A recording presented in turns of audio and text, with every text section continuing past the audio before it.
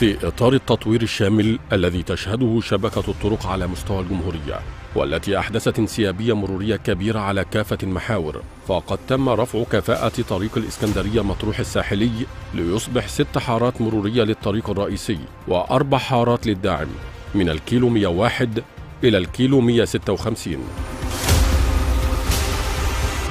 كما تم إنشاء تسعة كباري دورانات لتسهيل حركة السيارات دون اللجوء إلى التقاطعات المباشرة.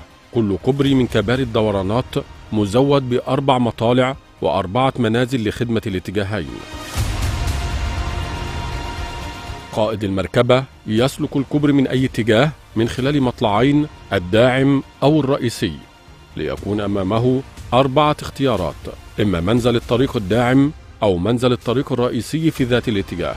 أو الدوران ثم يسلك منزل الداعم أو منزل الرئيسي في الاتجاه المعاكس.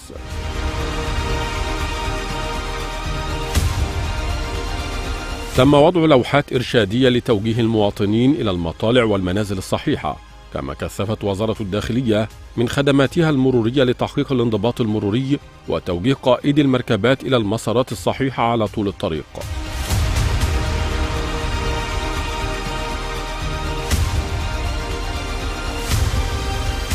وتم تزويد الطريق بمنظومة كاميرات مراقبة ورادارات ثابتة ومتحركة لتحقيق الانضباط المروري وضمان الالتزام بالسرعات المقررة.